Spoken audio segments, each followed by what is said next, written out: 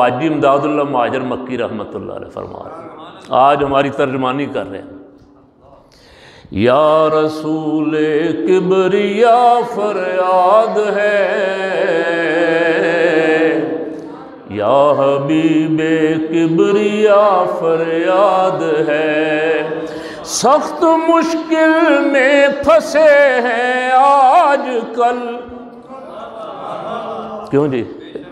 वो कहते हैं मुश्किल में फंसा हूँ मैं सब की बात कर रहा हूँ। उनकी तरफ़ से।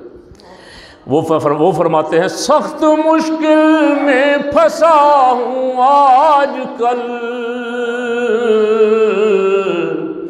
है मेरे मुश्किल कुशा फरियाद है।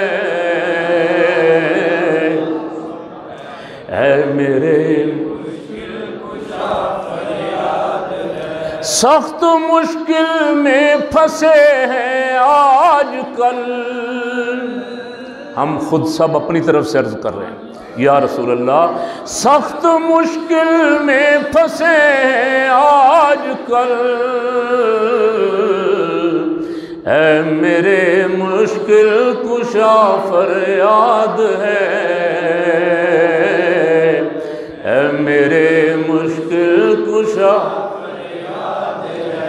है मेरे मुश्किल कुशा फरियाद है। है मेरे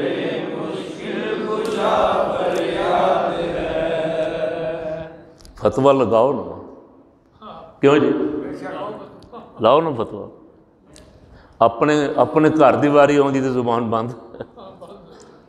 कहाँ गया तुम्हारे शेखुल हदीस और शेखुल कुरान? लगाओ फतवा हाजी इमदादुल्ला महाजर मक्की पे यार। क्यों जी?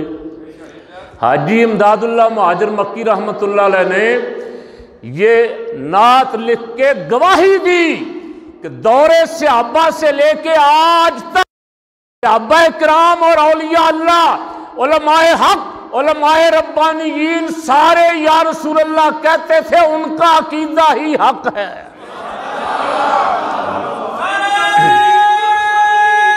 मैं फिर कहता हूँ, अल्लाह की इज़्ज़त की कसम, मेरा बिल्कुल दिल नहीं करता ऐसे मौजूद पे आजकल, ऐसे मौजूद पे जिनमें इख्तलाफ पैदा हो। हमारा दुश्मन मुश्तर है।